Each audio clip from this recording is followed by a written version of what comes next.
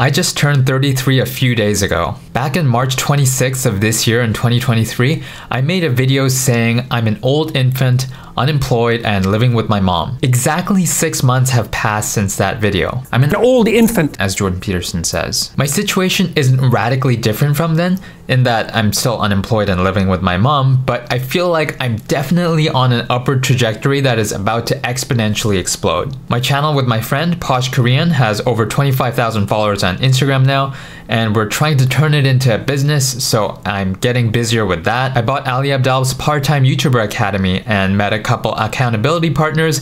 We're keeping each other on track on our YouTube goals, and we're hosting weekly mastermind calls to include more people. Right now, I have just over 450 subscribers on my channel, and I'm on track to getting monetized in several months, hopefully. I started going on walks every day while listening to helpful audiobooks.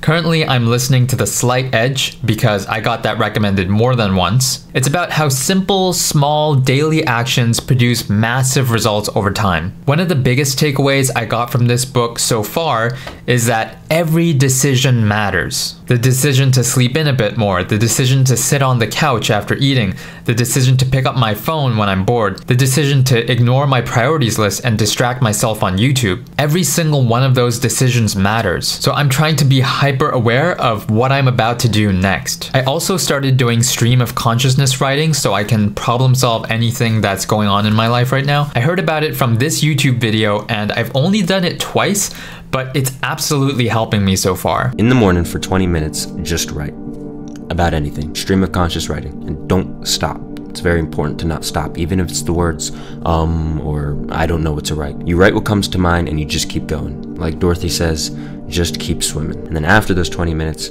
go back and underline words that stick out. Make bullet points, underline important words, topics, ideas that stick out and appear relevant. Just be intuitive. Chances are that you wrote about something that's been on your mind lately, and this is the key. I identified that I need to make more time for my priorities, and in order to do that, I need to spend less time on the couch and watching TV, YouTube. That's just one of several insights that I got from writing in two sessions only. So I'm adding one or two helpful daily habits into my life, like walking or stream of consciousness writing, and I'm still trying to have that 1% better every day Kaizen mentality. So things are looking good so far. I think I can only go up from here. No, that's not true. I can definitely go down. But according to my trajectory, I think I'm going to go up from here. Also, as a side note, I got a request to tell more of my bipolar stories, so I think I'm gonna get to those as well. And I was gonna take these necklaces off for filming, but I got a comment saying that they look pretty cool, so I'm not gonna take them off for filming.